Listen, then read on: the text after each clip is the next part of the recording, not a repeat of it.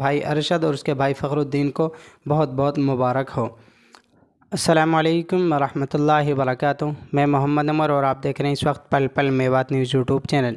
आज की जो मेरी वीडियो है, इस वीडियो में सिर्फ़ मैं इसलिए बना रहा हूँ कि अरशद जो बीस रुके हैं, जो मेवात आज तक के ओनर हैं, उनके भाई के लिए मैं मुबारकबाद देना चाहता हूँ। बहुत बहुत बधाई हो कि उन्होंने ज़िला परिषद में एक अच्छी जीत हासिल की है। और उन्होंने ये वादा भी किया है कि मैं गरीब जनता का और जो ग्यार है गाँव की जो जनता जिन्होंने मेरा साथ दिया है, अब चाहे उन्होंने वोट दी हो या ना दी हो, लेकिन ग्यारह गाँव की जनता उन सब की मैं सपोर्ट करूँगा और सब की मैं हेल्प करूँगा।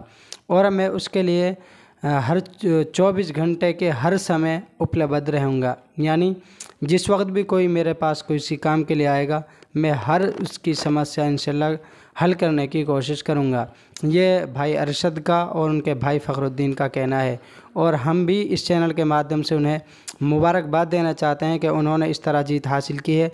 और उन्होंने नेहा खान जैसी एक जीत हासिल करके इस हरियाणा के अंदर दिखाई, मेवात के अंदर दिखाई है कि जिस तरह नेहा खान ने इकहत्तर सौ छियासी वोटों से जीत हासिल की है तो वहीं हम फ़खरुद्दीन भाई की बात करें तो उन्होंने भी कोई कम नहीं, बल्कि सात हज़ार अधिक वोटों से उन्होंने जीत हासिल की है।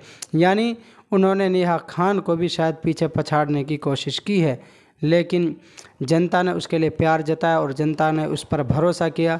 अब अल्लाह ताला से दुआ करें कि अल्लाह ताला उनके दोनों को, यानी निया खान और भाई फ़खरुद्दीन को, अपने कहे हुए अल्फाजों में कायम रखे और जो गरीब जनता है या जो जिन गाँव से वो ज़िला परिषद बने हैं।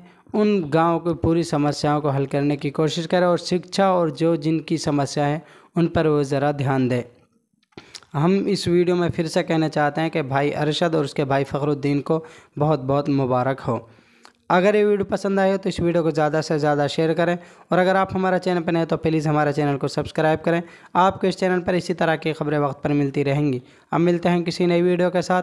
तब तक के लिए खुदा हाफिज़। अल्लाम वरहमल वर्का